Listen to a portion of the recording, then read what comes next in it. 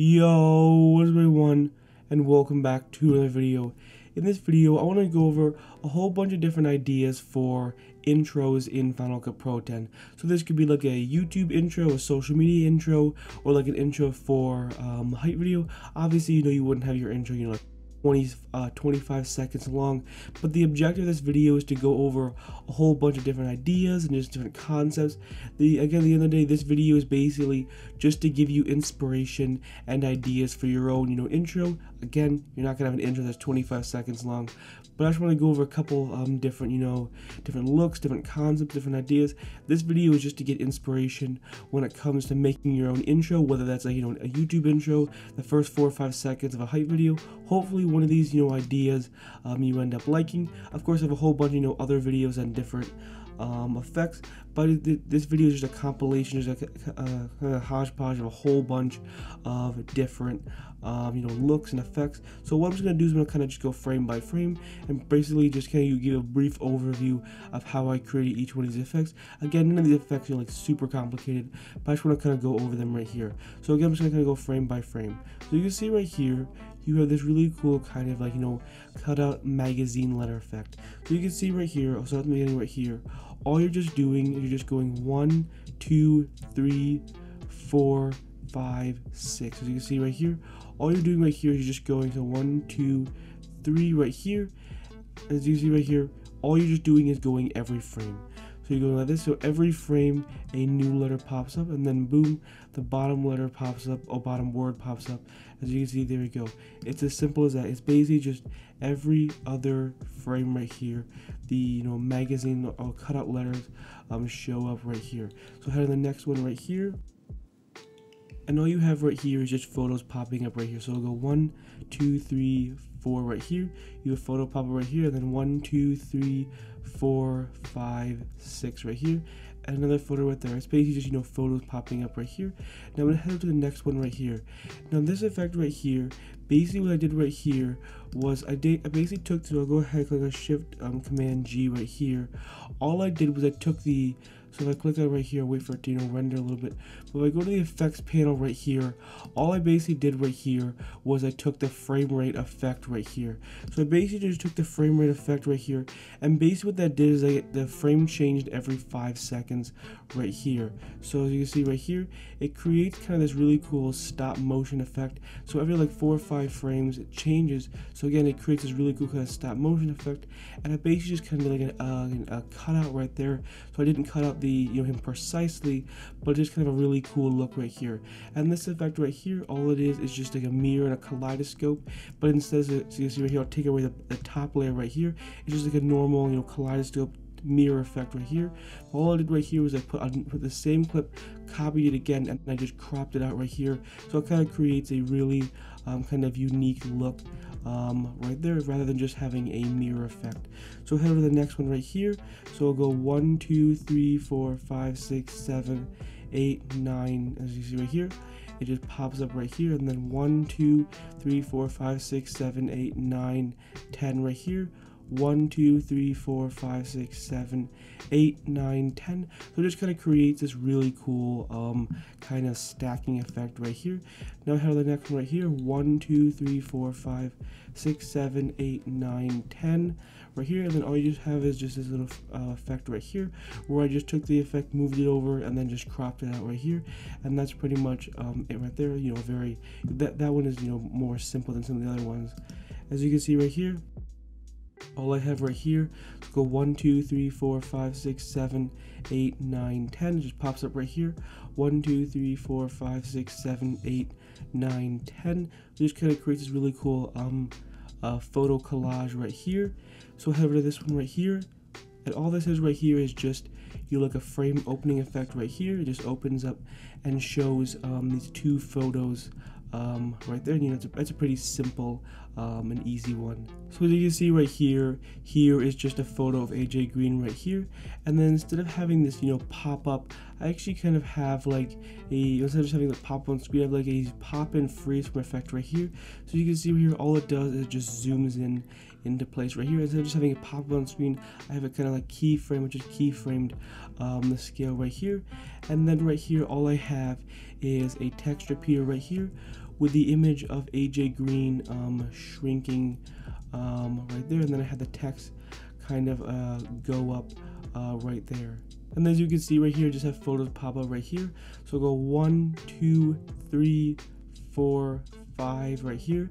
One, two, three, uh, then right here. One, two, three, four right here. So basically like every like three, four, five frames, I just have a photo pop up um, right there. You can obviously you know have as many photos as you want. And then this effect right here.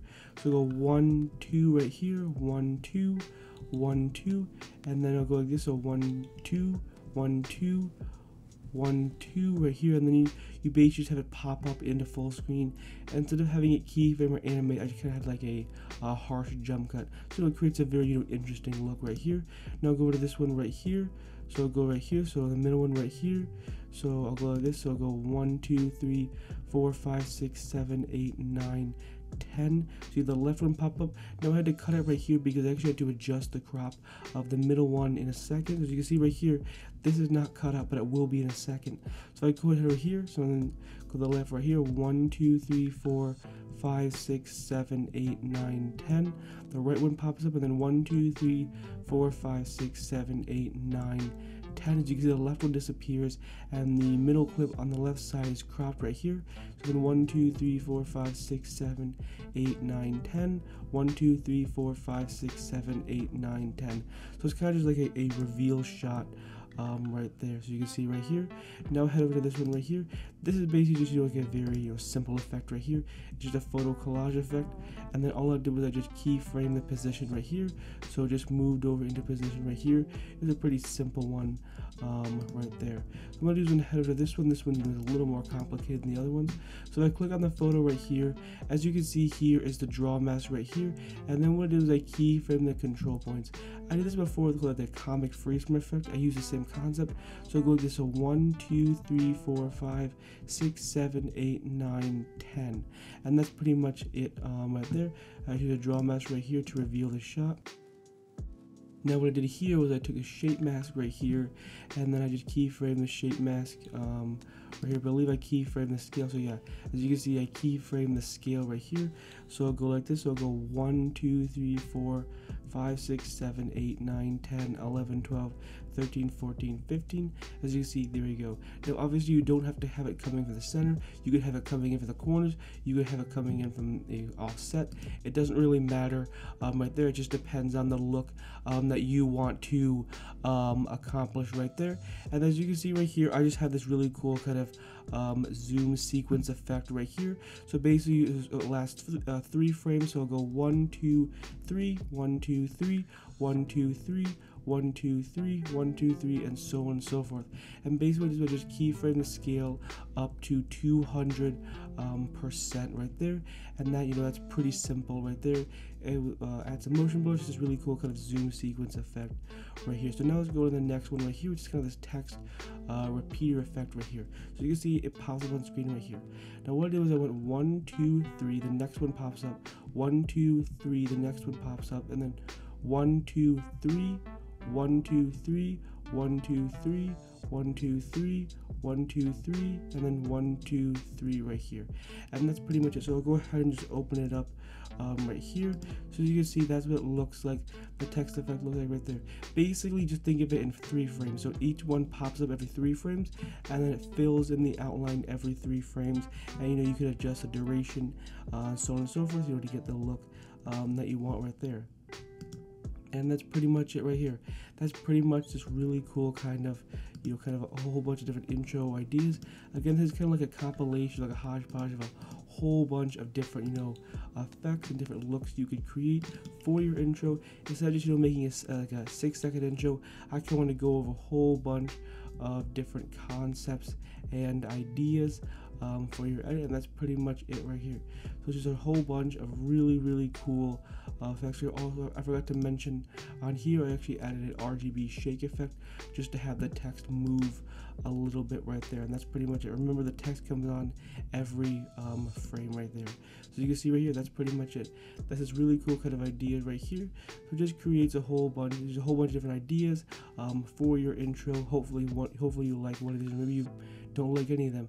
But I just want to kind of go over a whole bunch of different ideas. And again, hopefully you liked one of them, but hey, maybe you didn't like any of them at all. Uh, it was just kind of a really cool idea. I just want to kind of show show you a whole bunch of different ideas. Remember, you just use that, uh, that draw mask right there and the shape mask to create that circle um, transition right there. And then that's pretty much it.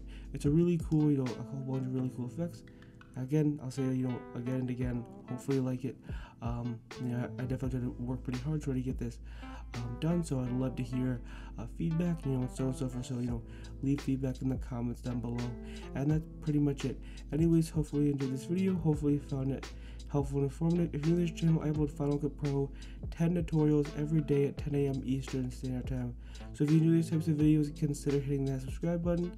Also have Final Cut Pro 10 tutorial playlist with over 240 Final Cut Pro 10 tutorials.